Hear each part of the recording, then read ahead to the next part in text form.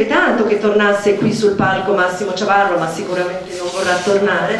in ogni caso. E così parliamo di quello che poi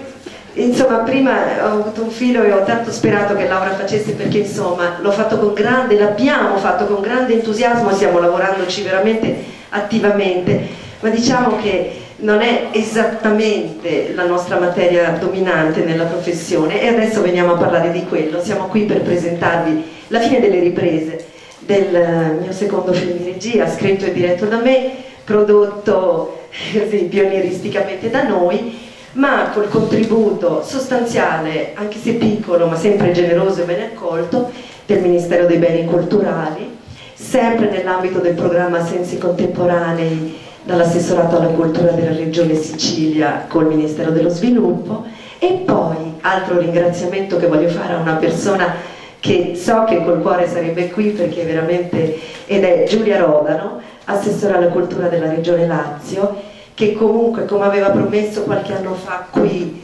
eh, all'atto della sua nomina ha poi concretizzato e realizzato questa possibilità eh, per l'impresa cinematografica nel Lazio di avere dei contributi attraverso la finanziaria Filas eh, relativa alla piccola imprenditoria del Lazio. Io credo che il cinema lo sia estremamente piccola imprenditoria e poi comunque non è esclusivamente romano perché oramai gran parte delle professionalità impiegate abitano nella regione. Quindi grazie a Giulia Rodano e alla Filas. E allora questo è il mio secondo film. Io sei anni fa ho fatto un primo film um, scritto e diretto da me che forse ricordate tra l'altro ho avuto la gioia di avere delle segnalazioni fra le quali quella proprio al nastro d'argento come candidatura per la migliore opera prima.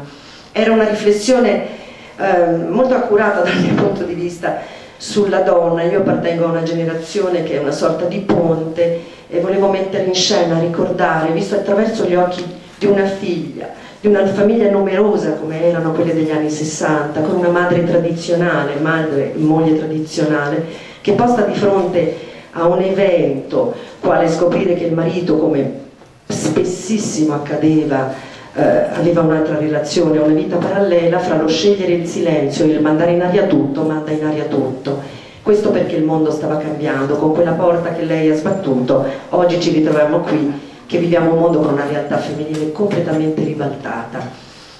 Il film era raccontato attraverso gli occhi di una ragazza, di una bambina e figlia, perché io credo che come donna e come anche quando mi trovo a scrivere comunque, il mio mondo di sentimenti e di valori spesso prevale la mia ansia di indagare psicologicamente, di riflettere su quelle che sono anche le ordinarie cose della nostra quotidianità ehm, e quindi il mio rapporto con i figli e quindi forse anche questa mia storia personale che a 18 anni mi strappa dalla gioventù e mi proietta per caso e dopo tanti anni questa è diventata la mia unica vera famiglia perché io non me lo ricordo più come era la mia famiglia prima mi proietta nel mondo del cinema per caso come forse adesso capiterà qualcuno dei miei protagonisti, non lo so. E quindi forse questi miei 18 anni mi sono rimasti per sempre dentro. Mi sembrano, l'età fra i 10 e i 20 mi sembra quella più determinante, come per l'albore di una civiltà, cioè tutto si, si segna, penetra, è l'era delle prime volte, di quelle che comunque non si scordano mai. L'altra ragione del mio film è che in questo mondo ribaltato negli ultimi 30 anni, credo che se le mie nonne potessero fare una passeggiata oggi a Roma, non so, credo che vorrebbero tornare dove purtroppo sono, perché non potrebbero credere a quello che vedono. Um, avendo un figlio di 17 anni, essendo una madre molto presente nella sua vita, e avendo un altro di 28 che mi ha traghettata sempre riportandomi nella gioventù, e poi questo piccolo ha preso il testimone, ho assistito, non aspettandomela all'interno del suo gruppo di amici, a una storia d'amore incredibile, fortissima, come non credevo potessero esistere più. Io sono molto grande e mi guardo intorno e lamento davvero una mancanza di romanticismo, di eroismo, dell'amore, ma forse io sono grande. Poi parlo con le mie amiche più piccole, quarantenni, non parliamo poi dei trentenni, che mm, sono delle donne realizzate in carriera, millantano anche grande soddisfazione e poi nel silenzio piangono perché non hanno l'amore. Ecco, Pare invece che questo primo grande amore esista ancora e di questo volevo parlare. Un primo grande amore e anche una storia fortemente di amicizia perché sicuramente dal mio primo film 30 anni fa dove la claustrofobia è ineludibile della famiglia come unico sponda di affettività, di confronto, tutto questo è stata integralmente, secondo me, sostituita dal gruppo, non dal branco, ma dal gruppo, cioè osservo mio figlio, che, vedo che vive radicato dentro la chat dalla mattina alla sera quando non va a scuola e non esce da casa, col computer portatile appresso ed è continuamente connesso con i suoi amici, per non parlare poi voglio dire, del fatto del, del telefono, di, questi, di questo continuo rapportarsi fra di loro. Noi abbiamo preparato, siccome il film è appena, abbiamo appena finito di girarlo e, e diciamo che è solo un premontaggio, abbiamo preparato un, un piccolo assemblaggio di scene che spero abbia un senso. Io mi scuso perché è veramente appena uscito non da un laboratorio ma dal set. Ci sono dei buchi di presa diretta, c'è un sonoro orribile, però insomma vuole essere un piccolo... E poi appena abbiamo visto questo promo vorrei presentarvi i miei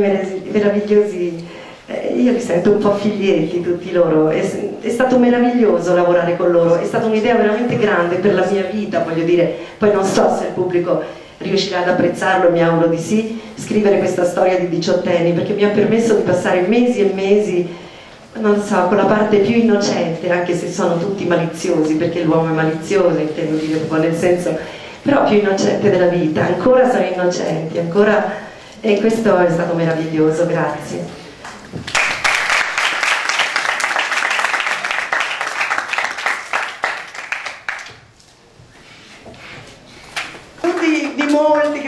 Italiani, adesso lo so, quindi adesso visto che io sono single non ci lasceremo più, lui divorzierà e quindi ci sarà un seguito.